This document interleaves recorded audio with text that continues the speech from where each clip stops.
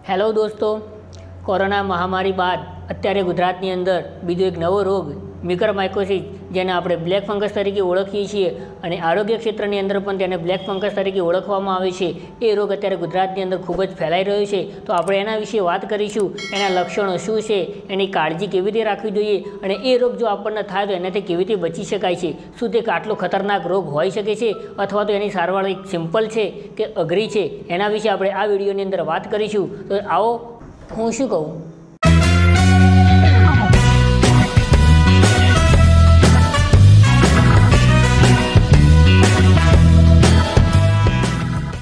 ચલો, આપણે જોઈએ કે મ્યુકરમાઇકોસિસ અથવા તો બ્લેક ફંગસ શું છે તેના માટે શું કાળજી રાખવી જોઈએ. જોઈએ કે ગુજરાત સરકારે હમણાં ગુરુવારે મ્યુકરમાઇકોસિસ અથવા તો બ્લેક ફંગસને એક મહામારી તરીકે જાહેર કરેલી છે. મુખ્યમંત્રી વિજય રૂપાણીના વડપણ હેઠળ મળેલી કોર કમિટીની બેઠકમાં એપિડેમિક ડિસીઝ એક્ટ અઢારસો સત્તાણું હેઠળ બ્લેક ફંગસ એક મહામારી જાહેર કરવાનો નિર્ણય લેવાયો હતો. કેન્દ્ર કેન્દ્ર સરકારના આરોગ્ય મંત્રાલય દ્વારા જાહેર કરવામાં આવેલી આ ગાઈડલાઇન અનુસાર કોરોનાના દર્દીઓમાં બ્લેક ફંગસનું નિદાન અને સારવાર કરવામાં આવે છે. ઈએનટી એસોસિએશન્સના અંદાજ પ્રમાણે રાજ્યમાં બ્લેક ફંગસના પાંચ હજારથી પણ વધુ કેસ છે, જ્યારે માત્ર અમદાવાદ, રાજકોટ, સુરત અને વડોદરામાં ત્રણ હજારથી પણ વધારે કેસો આવી ચૂકેલા છે. માત્ર અમદાવાદમાં અંદાજે એક હજાર કેસ છે. શું આ મિક્રમાઇકોસિસ એટલે કે બ્લેક ફંગસ નામનો રોગ જે ખૂબ મહામારી તરીકે ગુજરાત સરકારને જાહેર કરવો પડ્યો, શું તે કેટલો પણ ખતરનાક છે? શું એ કોરોના કરતાં પણ વધારે ખતરનાક હોઈ શકે છે? તો આપણે એ મ્યુકરમાઇકોસિસથી શું થઈ શકે છે? મ્યુકરમાઇકોસિસ કોને કોને થઈ શકે છે? તો આપણે વાત કરીએ કે મ્યુકરમાઇકોસિસ કોને થઈ શકે છે? જેવા કે આપણે કોરોનાની અંદર વાત કરી હતી કે જે વ્યક્તિઓને ડાયાબિટીસ વધુ હોય તેવા વ્યક્તિઓને કોરોના ખૂબ અસરકારક કરે છે. એ જ પ્રમાણે મ્યુકરમાઇકોસિસ રોગ એ પણ ડાયાબિટીસ સંલગ્ન હોય તેવા દર્દીઓ અથવા રોગપ્રતિકારક શક્તિ ઓછી હોય તેવા પ્રકારના દર્દીઓના નાકની અંદર બ્લેક ફંગસનું ઇન્ફેક્શન થઈ જાય છે. તેમના નાક અને મગજની અંદર સડો પેસી જાય છે. એટલે કે એક પ્રકારની ફૂગ થઈ જાય છે. આપણે વાત કરી કે બ્લેક ફંગસ નામનો રોગ કોને થઈ શકે છે? જો આ રોગ કેવી રીતે થાય એ આપણને કેવી રીતે ખબર પડે? એનો મતલબ કે બ્લેક ફંગસ નામના રોગના લક્ષણો શું? એટલે કે મ્યુકરમાઇકોસિસના લક્ષણો શું હોઈ શકે? આપણને કેવી રીતે ખ્યાલ આવે કે મને મ્યુકરમાઇકોસિસ નામનો રોગ એટલે કે બ્લેક ફંગસ નામનો રોગ મને થયો છે? તો આપણે એના લક્ષણો વિશે વાત કરીએ તો જોઈએ કે એના લક્ષણો. વારંવાર શરદી થવી, નાક બંધ થઈ જવું શ્વાસ લેવામાં તકલીફ પડવી જે પ્રમાણે વાત કરીએ જો આપણું નાક બંધ થઈ જાય એટલે કે આપણને ઓબ્વિયસલી આપણને બધાને ખબર પડે જ છે કે શ્વાસ લેવામાં તકલીફ પડે છે. એટલે કે શ્વાસ લેવામાં તકલીફ પડવી, નાકમાંથી દુર્ગંધ આવવી અને એક નાકની આસપાસ સોજો આવવો.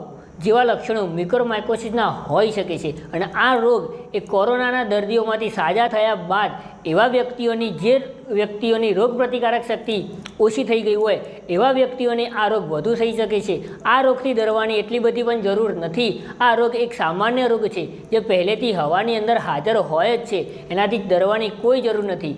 આ રોગ એ આ વખતે કોરોનાના મહામારીના કારણે જે વ્યક્તિઓની રોગપ્રતિકારક શક્તિમાં ઘટાડો થયો છે, એવા વ્યક્તિઓની અંદર આ બ્લેક ફંગસ નામનો રોગ એ વધુ ફેલાય છે અને એનું સંક્રમણ વધવા લાગ્યું છે.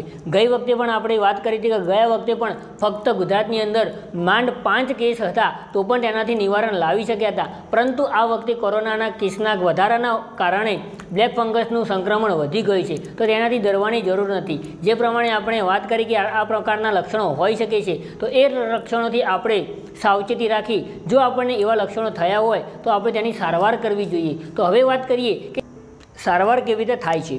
દર્દીના બાયોપ્સી રિપોર્ટના આધારે ફંગસ, આંખ, મગજ તેમજ અન્ય કયા કયા ભાગની અંદર કેટલી ફેલાયેલી છે તે ચકાસીને નિદાન કરવામાં આવે છે.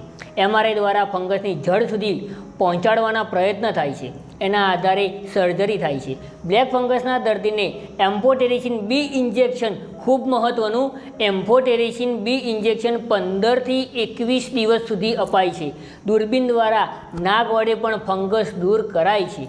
હવે આ ફૂગ એ વાતાવરણમાં પહેલેથી જ છે. જે પ્રમાણે આપણે આગળ વાત કરીએ પ્રમાણે કે આ ફૂગ પહેલેથી વાતાવરણમાં છે જ. તો આ વખતે એનું સંક્રમણ વધવાનું કારણ શું?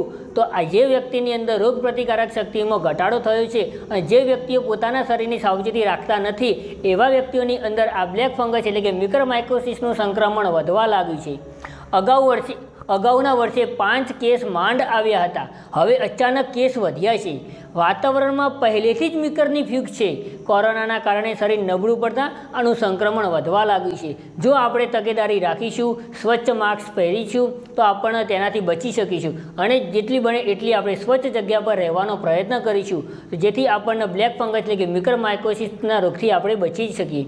આ વિડીયોની અંદર તમને ઘણી બધી જાણકારી બ્લેક ફંગસ વિશે મળી છે. તેના લક્ષણો વિશે આપણે વાત કરી. તેનાથી કેવી રીતે બચી શકાય?